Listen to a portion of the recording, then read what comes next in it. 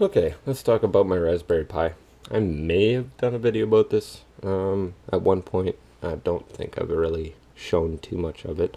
Um, I have a Pi, Pimoroni case, I think, uh, for the for the TFT screen. It's a Adafruit TFT with the four buttons uh, soldered in. Um, back, there's a camera module installed, and I kind of shoved in a dollar store power amplifier, so that's why you get the two little speakers here hanging off the top. Um, just makes it a little easier. You don't have to use headphones or try and find a audio source to try and plug into.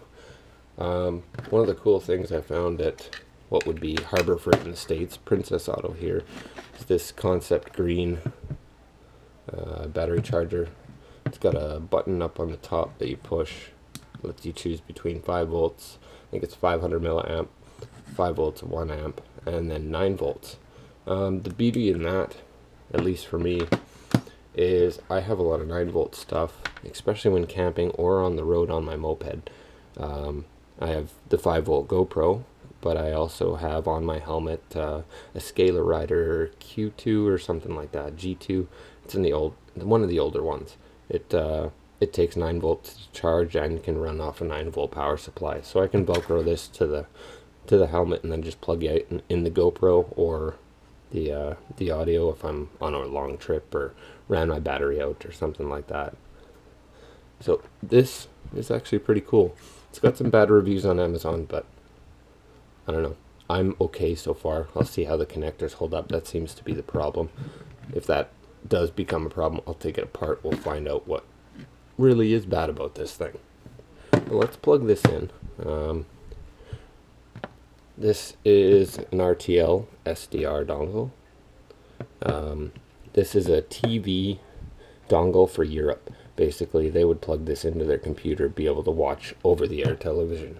Um, the beauty about this is it picks up other kinds of frequencies, and some people have kind of hacked the drivers a little bit to get a wide area of those frequencies into the computer and just look at them, listen to them. So plug this into the USB ports here and we turn this guy on to 5 volts.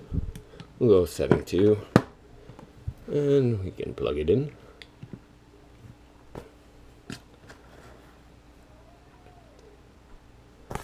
So this will take a little bit to boot up. It's running off an SD card, but it is a Linux system, Debian, and we will slowly, slowly boot up. There's the screen, or the touchpad input actually. Set up sound, do up the console fonts. That's when the text all changed there. And we logged in, and now we've loaded X, and now we've loaded Artilizer, RTLizer. Uh, this is in GitHub, and basically we're looking out this antenna at 98 megahertz. Um, I've got these buttons set up here, so you can move down, move up. Um,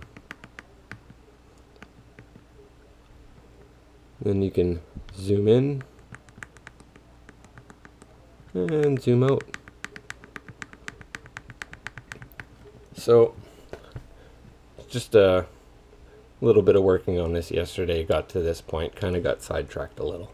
But uh, that's kind of where I'm at for this.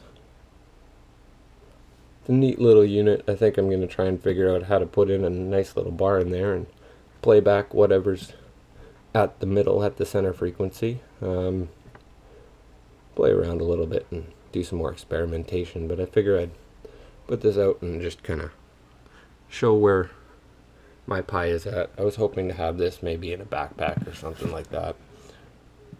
But uh, there was some other features. This is a touchscreen as well, so I can take that input, scroll back and forth, and maybe pick where I want to be. Um, so yeah. that's the Raspberry Pi as it stands right now.